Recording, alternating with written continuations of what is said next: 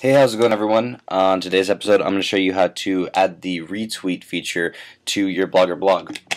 So I found this website that uh, has the the scripting for all of the the normal left and the normal right, as you can see here. So I'll put the link to this website in the description so you can choose which one you want on your Blogger blog.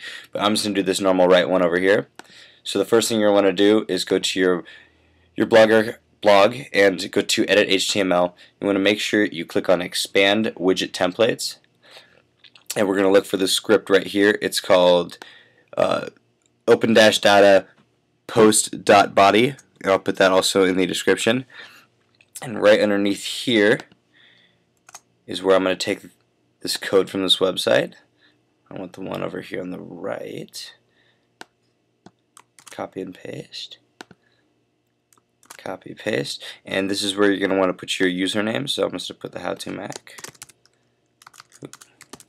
How to Mac. And I'm going to go preview make sure everything worked right.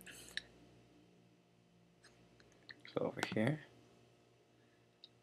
And you can see that the retweet feature just appears right there on the right quick and easy. This is the how to Mac. Thanks for watching ウソ!